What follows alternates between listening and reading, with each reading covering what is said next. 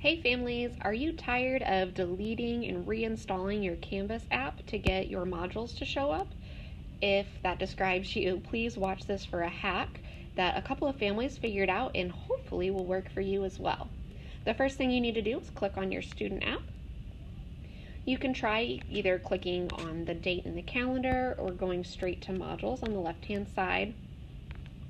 Um, and if it is not sending you to the day that you need, what I want you to do is click on the last page you are able to view. So for me, I'm able to see October the 8th, the stop page. I'm going to click there.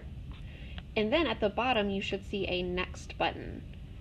You need to click the next button over and over until it brings you to the day and assignment you are looking for. So for me, I'm looking for November the 10th.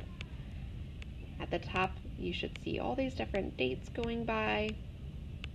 Unfortunately, you will have to click the next button several times, but it looks like this is the best way to get to assignments for now. So hopefully this works for everybody. Um, if you continue to have problems and the next button does not work, please do let me know. Um, I'd be happy to look into some more hacks. So I hope this helps. Have a great day, everybody.